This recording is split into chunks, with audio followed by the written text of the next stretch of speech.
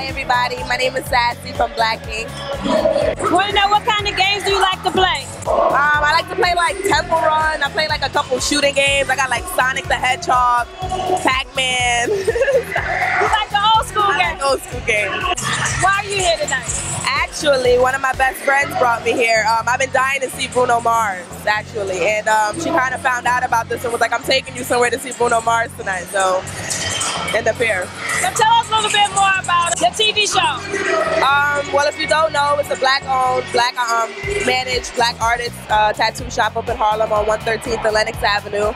Um, come by, come get a tattoo. Uh, the show is crazy. It's drama, all crazy relationships, um, mixies. It's just, it's wild. It's crazy. Just check us out. Yeah, man. We coming back for season two, so you can check us out on VH1 on Mondays at 9 o'clock.